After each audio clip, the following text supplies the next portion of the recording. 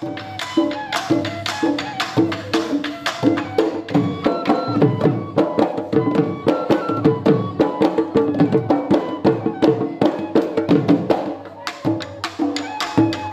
কুমৰিক চুডুং আজি মই আপোনালোকক লৈ আহিছোঁ বোকাখাটৰ উদয়নগৰৰ মাছমজিয়াত অৱস্থিত শ্বহীদ কমলামেৰী মুৰংঘৰত ইয়াত কেইবাদিনো হৈছে গুমৰাগ নৃত্যৰ আখৰা চলাই আছে সন্মুখত।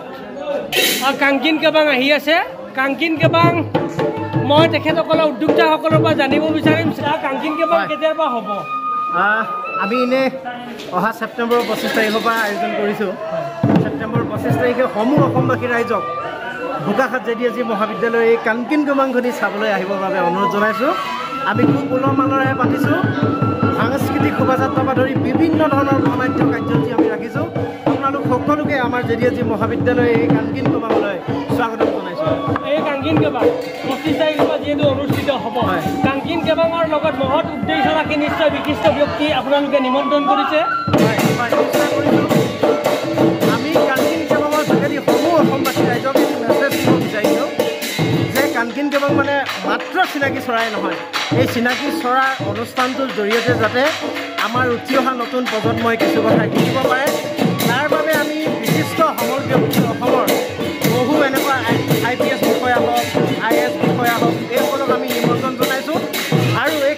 কেবাংখনিৰ লগত সংগতি ৰাখি আমি অহা সোতৰ ছেপ্টেম্বৰ তাৰিখে গোলাঘাট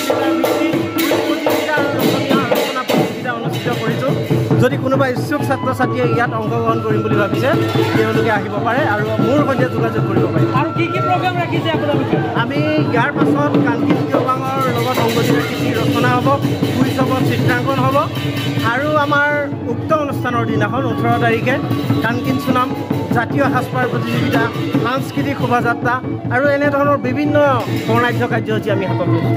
তেখেতসকলক মই এটা কথাই জনাম যে আমাৰ উদয়নগৰ শ্বহীদ কমলামিৰি যি মুৰেংঘৰ আছে এই মুৰংঘৰত আমাৰ ডেইলি আখৰা চলি আছে।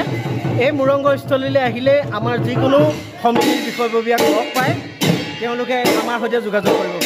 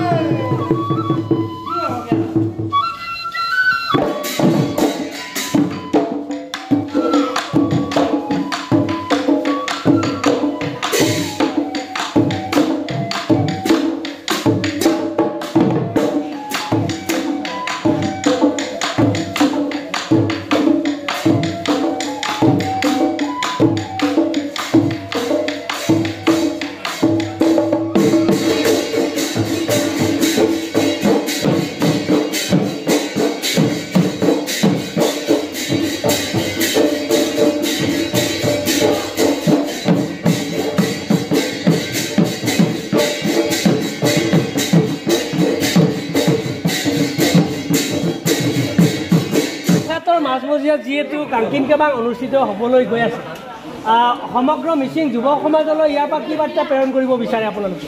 মিচিং বুটো মিচিং। অসমীয়া লুয়ে চককে মিচিং গুমৰাগ কাংকিন কেবাং চককে মিচিং টানিয়ে মোক অসমীয়া লুয়ে নলুকম তুই পৰিল দুনে টকা কিদি চক কাংকিন কেবাং চককে kangen kabang aku sok mana, aku kangen sok na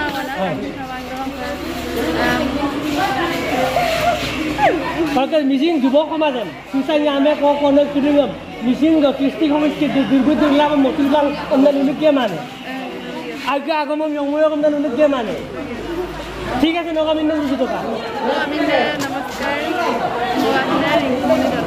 Rinku মণি দলে নক কুমা.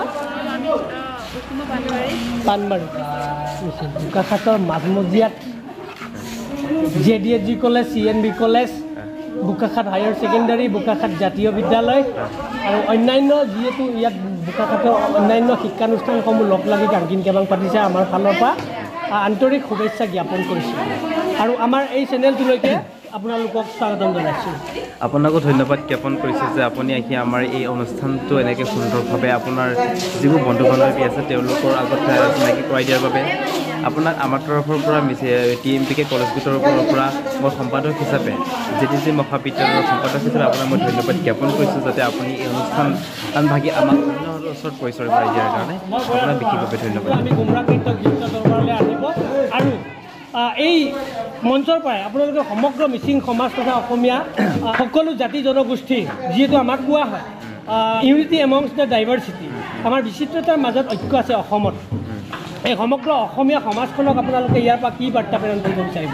আমাৰ মিচিং জাতিটো হৈছে এনেকুৱা এটা জাতি যিয়ে পৰিৱেশৰ লগত মাটি ধূলি মাৰি মাটিৰ লগত মিহলি হৈ এটা আনক সমাজলৈ এটা বাৰ্তা পঠিয়ায়। যে আমাৰ মিচিং জনগোষ্ঠীৰ নৈপৰীয়া মানুহ ৰাইজে আজি আমাৰ খেতি কৰি কেনেকৈ? কাটে এনেধৰণৰ আমাৰ নৃত্যৰ মাজেৰে আমাৰ এইসমূহ পৰিৱেশন কৰা হয় যাতে আমাৰ মিচিং সমাজ ৰাইজে কেনেকৈ ধান কাটে কেনেকৈ ভূঁই ৰুই বা কেনেকৈ কেনেদৰে আমাৰ মিচিং ৰাইজে জীৱন যাপন কৰে তাৰ সম্পৰ্কে আমাৰ বাৰ্তা পঠিওৱা হয়। এই বা- আমাৰ মিচিং আজি হৈ পৰা ৰাইজৰ দ্বাৰাই আমাৰ খেতি বাতি কৰি আমাৰ চহৰীয়া ৰাইজে এই মানে তেওঁলোকৰ খেতি বাতি কৰে তেওঁলোকে খাবলৈ পাইছে। আমাৰ মিচিং জাতিটো এনেকুৱা এটা উচ্চ জাতি যি জাতিৰ লগত অন্য জাতিক ঘৰত তুলনা কৰিব নোৱাৰে আমাৰ সাজ পোছাক এনেকুৱা জাতি যি অন্য জাতিৰ লগত তুলনা কৰিব নোৱাৰে বহুত উচ্চ পৰ্যায়ৰ। আমাৰ চিন্তাধাৰাৰ উচ্চ পৰ্যায় আমাৰ মানুহবোৰ সৰল সৰল। আমি যাতে আমাৰ মিচিং জনজাতি আজি অনাগত দিনতে বহুতো ভৱি বিশ্ব দৰবাৰত পৰিচিত হ'বলৈ পাইছে। আই এছ অফিচাৰ হৈছে। বিভিন্ন বিভিন্ন মাধ্যমৰ তেওঁলোকে জড়িত হৈ আছে। আমাৰ মিচিং জাতিটো বহুত আশাৰ বুলি মই ক'ব বিচাৰোঁ। মই ভাবোঁ যে এটা অনুষ্ঠানক কেন্দ্ৰ কৰি বন্ধ কৰি। যিকোনো এটা সভা সমিতিক কেন্দ্ৰ কৰি বা কেৱল আলিয়াই লিগাঙক কেন্দ্ৰ কৰি আমাৰ এই গুমৰাগ নৃত্যই বা বিভিন্ন আমাৰ জাতীয় কৃষ্টি সংস্কৃতিয়ে হওক সেইবোৰ বজাই ৰখাটো বিশেষ ফলপ্ৰসূ নহ'ব বুলি ভাবোঁ। যিহেতু আমি যিহেতু মনস্তাত্ত্বিকভাৱে আমি সাংস্কৃতিক হ'ব লাগিব। অনাগত দিনত মিচিং যিটো কৃষ্টি সংস্কৃতি পিন্ধন উৰণ খাবন বৱন যিটো জীৱন জীৱিকা সকলোখিনি বজাই ৰখাটো কামনা কৰোঁ। এই ক্ষেত্ৰত আপুনি মোৰ লগত একমত নে?